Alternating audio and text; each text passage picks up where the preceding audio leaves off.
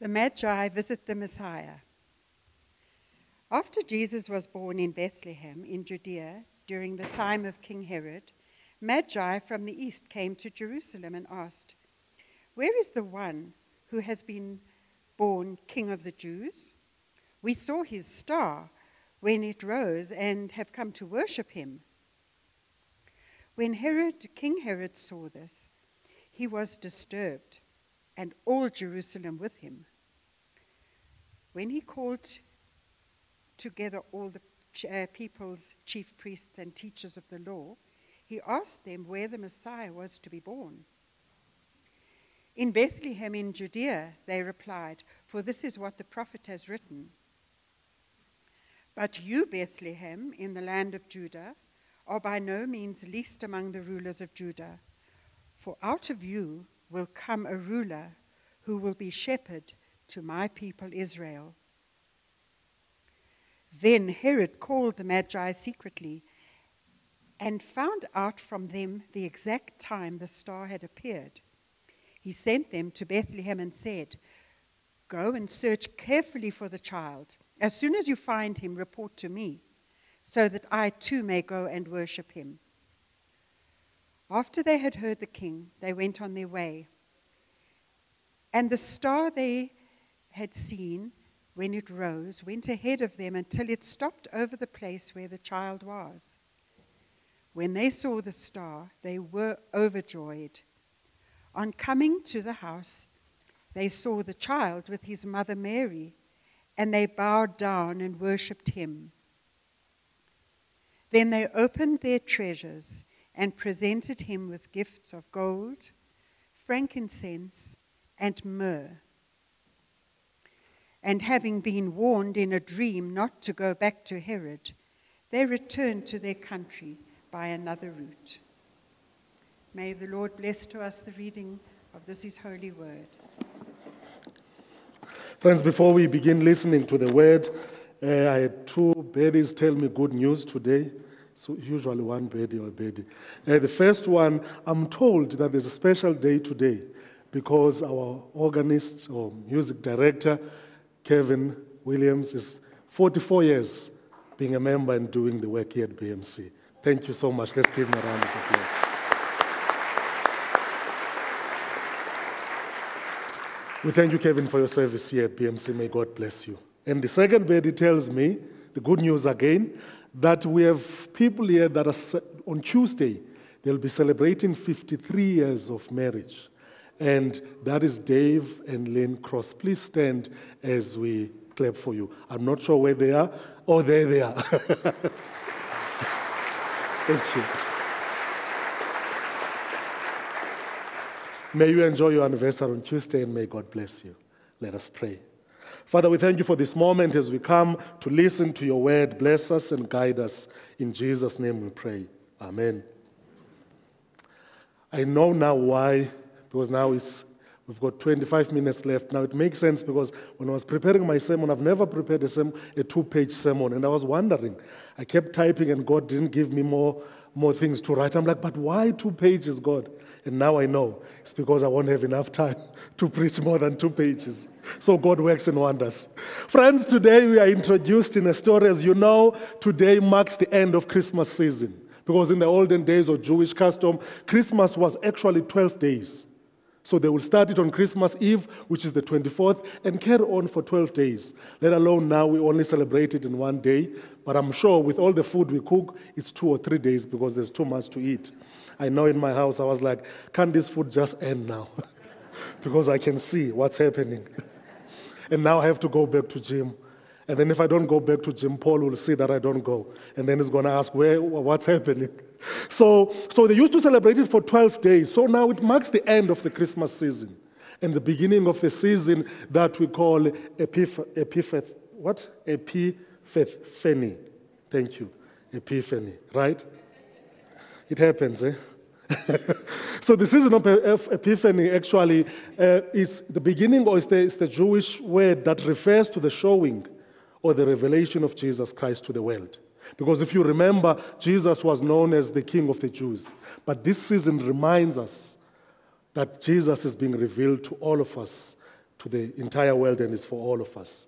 And it also marks the reminder of the, of the three wise men, the mages. And I, I don't know the word where it comes from, but I know it's a Greek word, but I prefer to call them wise men.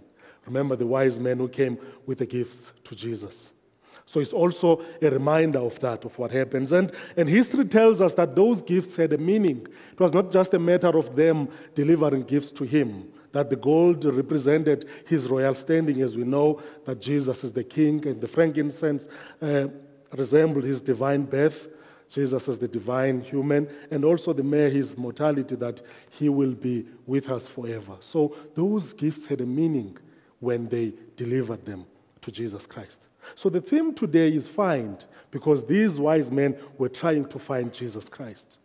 And my sub theme is seeking the true king. Because the story, if you notice, there's King Herod, but also there's Jesus as the new king.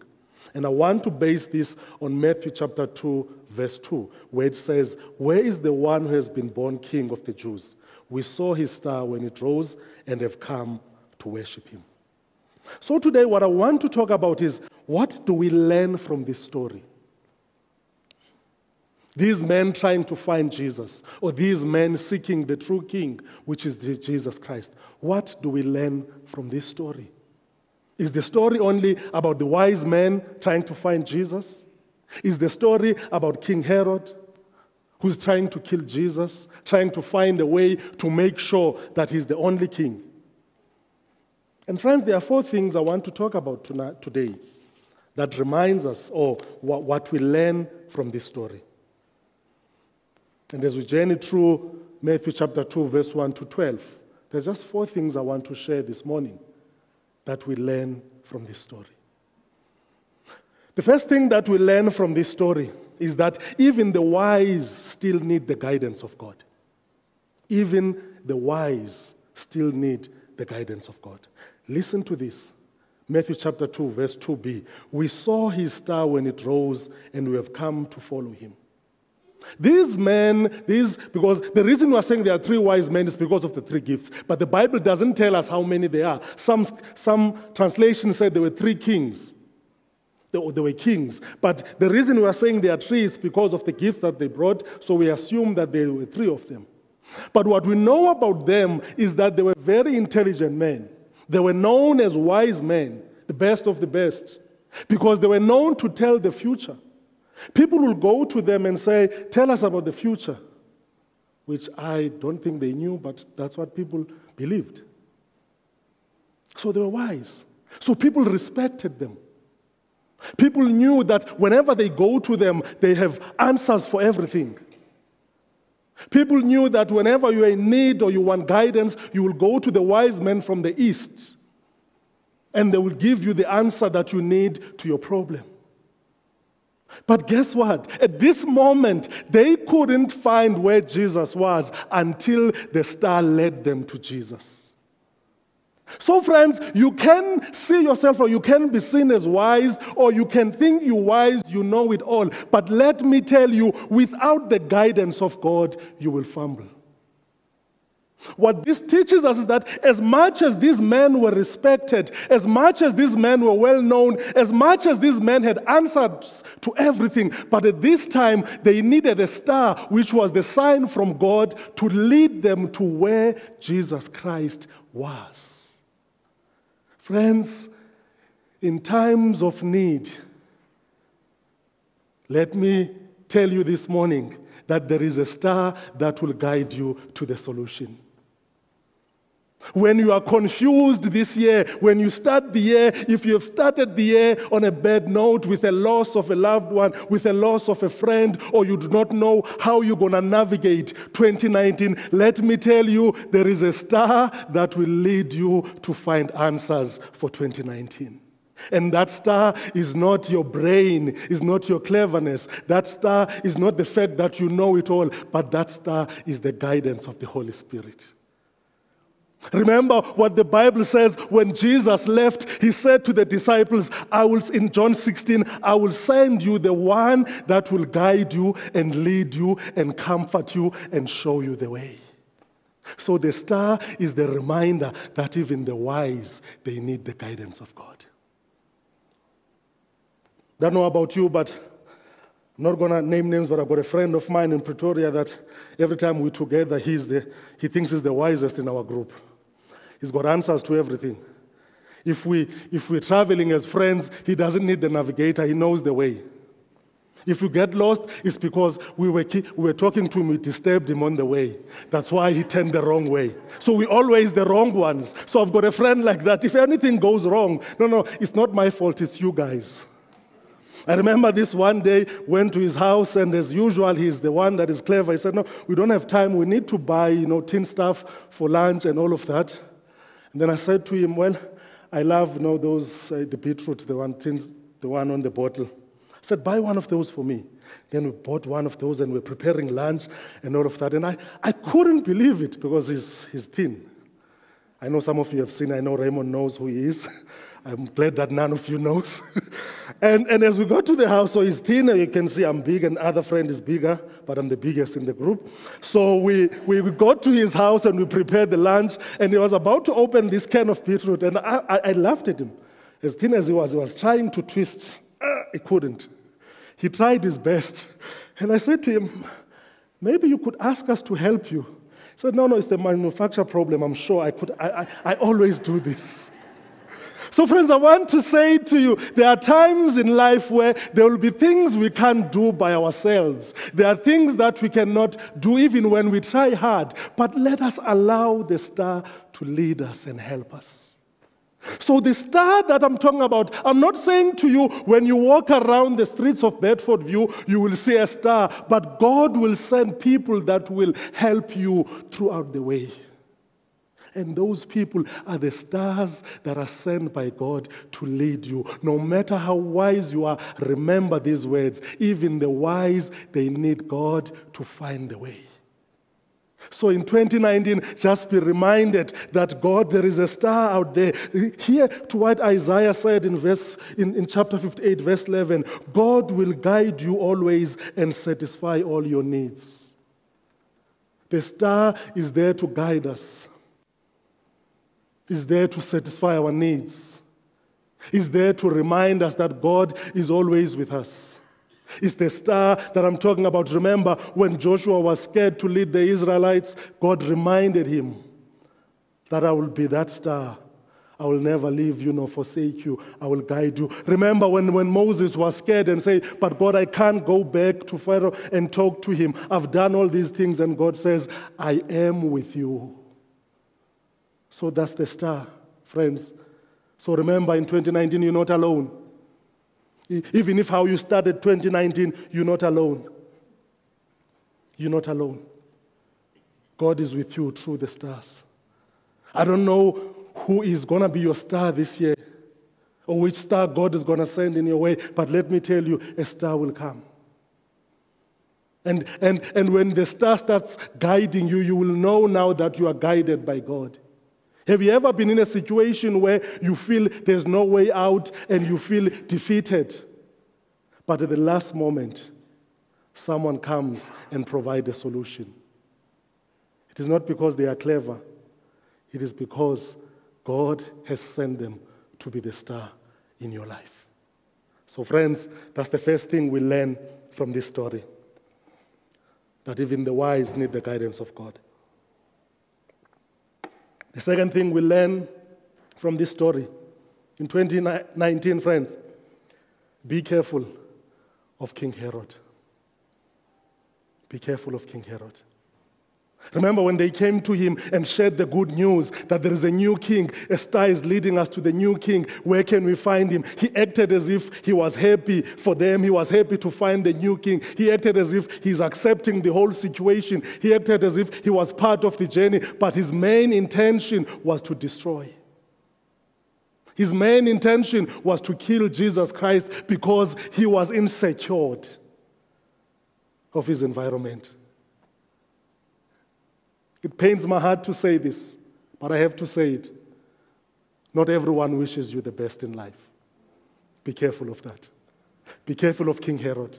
In 2019, Because remember, the problem with King Herod, I can imagine he was smiling as the king, sitting on his chair, acting as if, you know what, I'm happy of what is happening, and I want to embrace this Christ. I want to embrace you. And, and, and that's where the problem is. Because the Bible says you won't see them.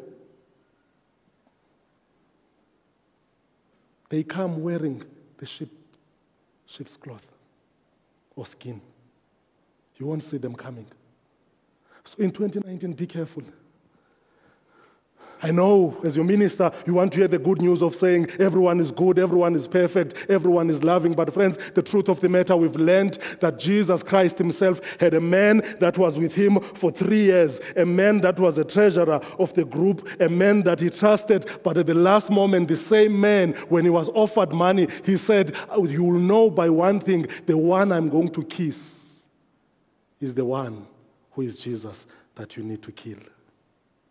Be careful. Open your eyes. Know who is your friend and who is not your friend. Because Herod acted as a friend. He acted as if he was embracing. Jesus had to run away for years and go in Egypt to run away from Herod because he wanted to kill him. Be careful.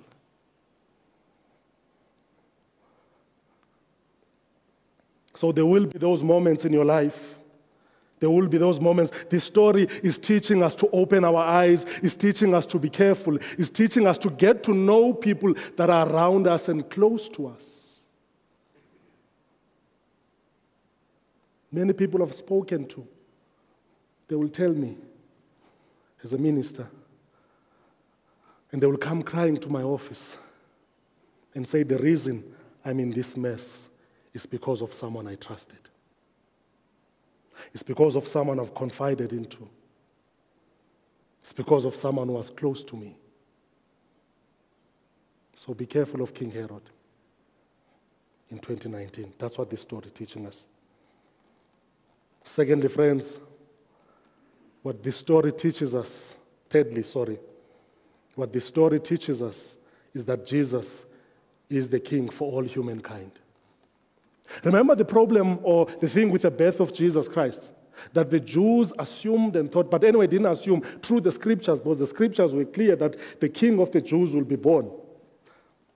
So Jesus was seen to come and only was born for the Jews and, and those who are in the part of Jewish religion. So he was not for the Gentiles. He was not for me and you. He was not for the Romans. He was not for anyone else but for the Jews. But now God is teaching us through this story because the story does not say God chose the Jewish people to find Jesus and bring him the first gifts. Remember, even, even if you follow the story of Jesus Christ, God had a tendency of using the people that were un- unexpected to be used by him in this journey. For example, Mary, we don't hear she's an unknown woman we don't hear any that was related to any kings. You come to the shepherds. When, when the news were told to the shepherds, when the angel came to the shepherds, you come now to the wise men. So, what this is teaching us is that, yes, the prophecies said that Jesus, the King of the Jews, is coming. But when Jesus came, he was clear that I'm a friend of sinners. I've come for the sinners. I've come for those who are not good. So this is reminding us that Jesus Christ is the King of all humankind. He's not for the selected few. So it's a reminder that Jesus is for me, Jesus is for you, and the fact that in the eyes of Jesus or in the eyes of God, we are all equal, regardless of our religion race, gender. So it's a reminder for us Christians. Sometimes, when we get the pride of saying we are the children of God, to remember that everyone is a child of God, regardless of what they've done. And, and I can assume and I can imagine how difficult this was for the Jewish nation to realize that their Messiah is not only for them. And I think that is why many Jews still believe their king is still coming. Jesus is not the one. Because for them, someone would come that will save them and be for them and for their salvation. And everyone else needed to be part of the Jewish religion. But this story is teaching us that God can use anyone for his kingdom. God can use anyone Friends, God is not selective. God is not exclusive. When God wants to use you, He will use you regardless of your history, regardless of your background. Yes, the story tells us of wise men, but the wise men were not from the, from the Jewish family. So that's a reminder, even if they are wise men, but they were not accepted by the Jews to be the ones. Imagine coming to the Messiah, who's the Jew, and the first people that come are not the Jews to come and give him the gifts. So that's a reminder that God loves us equally. That's a reminder that Christ is for all of us. That's a reminder. This story is reminding us that He is our King. So, friends, never sell yourself short. You must know Jesus is for you. When you stand, you must stand proud, knowing that He died for you, He was born for you. He was born to make changes in your life. He was born to bless your life. He was born for you, not for the selected few. Hence, even when we speak about ministries at church, you will never hear us saying this ministry is for these kind of people. Ministry is for everyone. That's why Paul, in his writing, especially in the book of Hebrews, he speaks of priesthood of all believers. Because he knows that we all we are all called by God to be priests, to minister to others, to bring the word of God to others. So Jesus is the king for all humankind. And the last thing, friends, before we go to communion, is that the story is teaching us to go and seek or find our true King, who is Jesus Christ. Lastly, the story is reminding us to go find Jesus or to go seek our true King, who is Jesus Christ.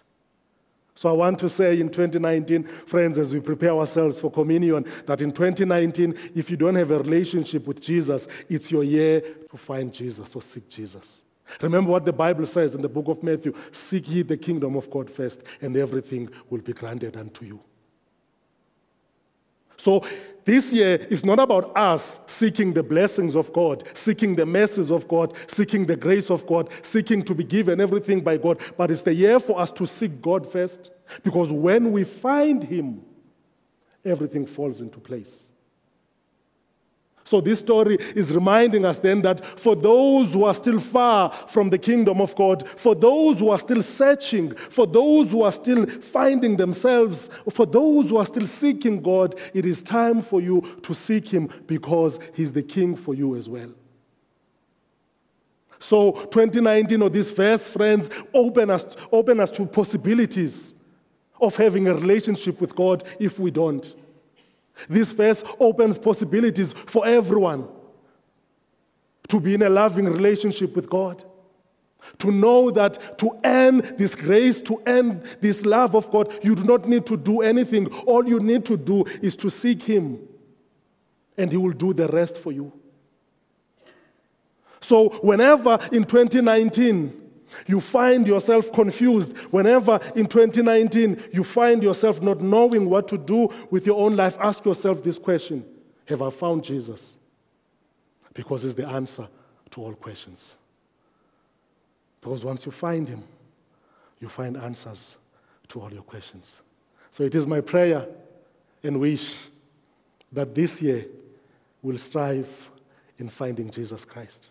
And friends, for those who are struggling, we've got people that can help you in that relationship. I'm here. My office is open. Raymond is here. His office is open. If you're struggling in your relationship with Jesus in 2019, it's time to take a stand and say, I want to be in love with God. And friends, it is up to you to have that relationship with Jesus. In Jesus' name, amen.